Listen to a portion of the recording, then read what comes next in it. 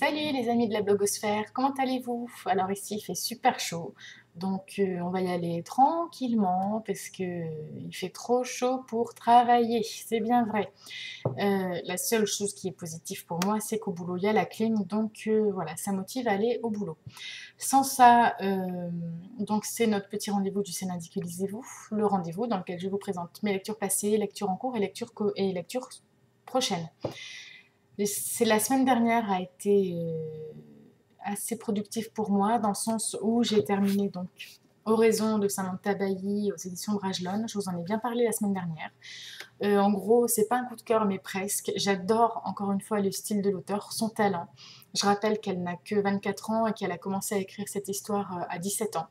vu le pavé, vu la technique qu'il y a, le style que contient ce livre, c'est juste du bonheur. Donc euh, en gros, pour ceux qui ne connaissent pas l'histoire quand même, ça parle de la famille Manérian. La petite sœur est morte, a été assassinée à 13 ans. Euh, elle s'enfuit d'une pension et euh, sa sœur Aileen, qui était dans la même pension qu'elle, décide de partir à la recherche de l'assassin. Et leur autre sœur, donc la plus grande, est oraisonnière, c'est-à-dire que c'est elle qui fait passer les corps des morts et les renvoie dans leurs astres respectifs. Donc ça consiste en un rituel, une prière et ensuite une pratique qui permet d'enlever les souvenirs des, âmes pour les mettre dans des bassins de résuadine. Donc ce sont des bassins euh, un peu, on va dire, ça apporte la touche de magie à ce roman fantasy. Euh, donc voilà, j'ai adoré son style, j'ai adoré la façon dont c'est écrit, où elle alterne donc les points de vue entre les deux sœurs, on suit chacune euh, leur destinée, leur rencontre, jusqu'à la finale euh, très très bien réussie. Euh, et en parallèle, entre chaque chapitre, elle nous, elle nous fait des interludes dans lesquels elle poursuit l'histoire d'un point de vue général ou euh, voilà, sur d'autres personnages comme ça qu'on apprend à connaître au, fil de l'histoire. sinon, rien de plus à vous dire dans cet avis assez succinct. Si ce n'est que si vous aimez la fantaisie, n'hésitez pas, j'espère que vous ne serez pas déçus. Euh, personnellement, moi j'ai vraiment adoré tout l'univers qu'elle a construit, euh, voir les liens, les complots donc politiques, commerciaux, religieux qui sont impliqués. Et euh, voilà, donc c'était une très très belle lecture. Ensuite, donc j'ai continué, mais alors très très peu, L'amant ténébreux, le tome 1 de la confrérie de la Dague Noire de G.R. Ward aux éditions Mélodie. Tout simplement parce que j'avais oublié une lecture commune sur euh, un de mes groupes Facebook et que du coup, bah, j'ai pas eu le temps d'avancer celui-là parce que j'ai commencé à lire euh, ce week-end Le Cirque des rêves d'Erin Morgenstern aux éditions Flammarion. Donc, euh, c'est un roman contemporain qui tourne autour de la vie d'un cirque. Dans lequel vont se rencontrer deux illusionnistes.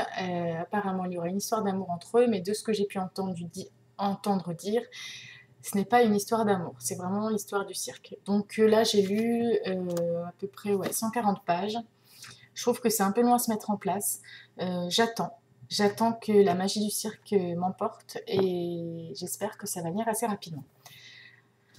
Voilà, donc ça c'était donc mes lectures en cours. Sinon, pour en revenir vite fait à la Monténégro, donc rien de plus que la semaine dernière, si ce n'est que ça se lit vraiment très très bien, même avec les absences que j'ai faites sur cette lecture, bah, il n'y a pas de souci pour replonger dedans. On est dans une enquête policière qui me plaît bien. J'ai envie de savoir qui est Monsieur X et donc qui fait partie des éradiqueurs de vampires, euh, qui a l'air assez intelligent et un ennemi assez, assez costaud. Et euh, voilà, j'ai hâte d'en savoir plus sur euh, Bess et sur Collar, sur leur relation. Alors la seule chose qui m'ennuie dans ce livre, c'est le prénom du héros, donc Kohler, tout simplement, puisque j'ai des amis qui portent ce nom de famille et qui s'écrit, je crois, de la même façon. Donc euh, j'ai tendance à penser à eux quand je vois le nom plutôt que à ce vampire guerrier. Voilà, petite parenthèse. Et ma lecture suivante, euh, donc déjà cette semaine, je vais vraiment me concentrer là-dessus, sur les deux là. Et euh, dans la semaine quand même, ou dans le week-end, je vais voir, je fais une lecture commune avec Everbook et donc, on va lire Hemlock de Kathleen Peacock, donc une histoire jeunesse qui parle de loup-garou. J'ai hâte de découvrir ça, d'en savoir plus et voilà, j'espère que je vais aimer. Et eh ben, si je vous dis que c'est tout, euh, et que du coup cette vidéo est très rapide, et que bah, si j'arrive à lire tout ça, la vidéo de la semaine prochaine sera un peu plus longue. Donc, ce que je vais faire maintenant, c'est que je vais vous dire au revoir. Je vous fais plein de gros bisous. J'espère que vous profitez bien des vacances ou voilà de la clim si vous en avez.